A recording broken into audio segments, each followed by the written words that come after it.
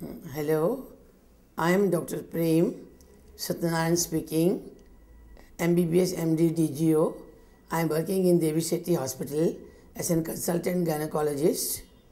This hospital is having all the facilities of an gynec up to date.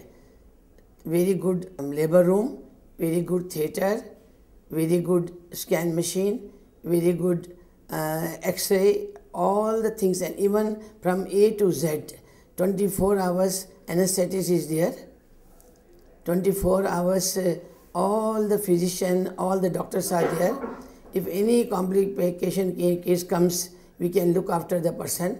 And recently, we have done one heart disease, uh, complicating pregnancy, and very um, severe mitral, and it went out successfully. And I have done till now two to three hysterectomies here. And yesterday, I admitted one twisted ovarian cyst uh, waiting for the laparoscopy. Uh, anybody can come um, easily and without any complication, the person can go out. In Devi Shetty Hospital, 24 hours, all the doctors are available consultant, duty doctor, anesthetist, and we are looking after the patient from A to Z. Uh, they must not worry at all when they enter once the Devi Shetty Hospital. We do the thorough examination of the patient if they come for the medical checkup. Medical check- checkup is done from A to Z.